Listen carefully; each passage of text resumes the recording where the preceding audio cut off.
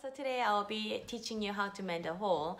Maybe you want to mend a socks or maybe a pants. My daughter's in kindergarten and lots of her pants end up having a hole on her knees. So I'm gonna teach you how to mend a hole. Okay, uh, try to find the same color thread. Um, this is my small kit that I have that I got it as a gift, but I don't have the matching color for this, so I will try to find the uh, the most similar ones. Find the end. And get about a, a meter length because I will double the thread. Okay. And on my other videos, I um, taught you how to thread a needle. So if you have a hard time threading a needle, you can use the needle threader Hopefully you guys can see this.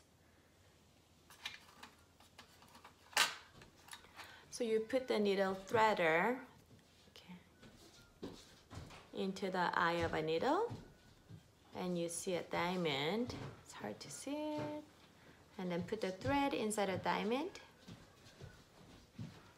Once you have tiny bits of a thread in there, just pull the needle thread away and there I threaded my needle. I'm gonna do a review on how to tie a knot.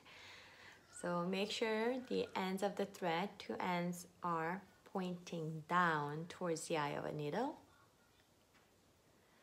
So needle is pointing up and just bring your thread, round it around your needle about three times. Wound thread.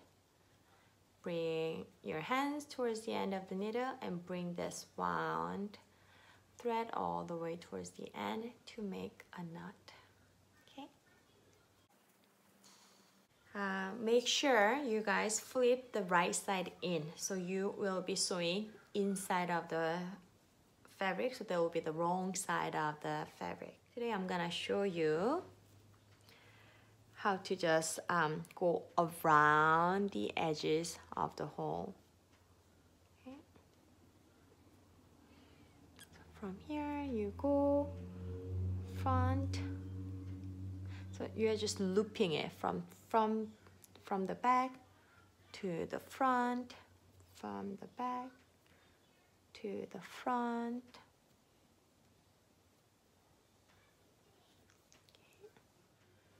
But you bring the two edges together and we are blocking that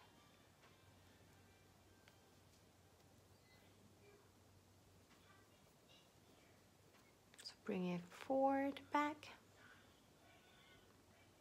Bring the needle back to the forward.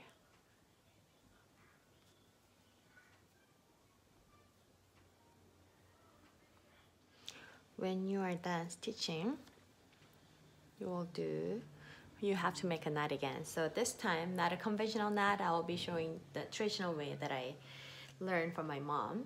So make a loop using your string and bring your needle inside of this loop. So there is this knot. What you can do, don't tie a knot here. Bring the knot all the way close to the, uh, the fabric and hold on to that and bring your needle, the whole thread, tuck it. There's a one first knot and I'm gonna do second ones.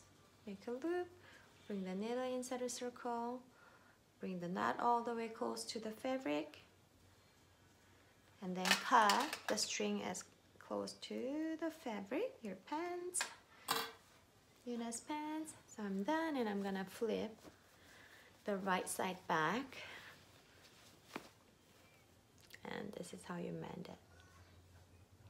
Okay, thank you for watching.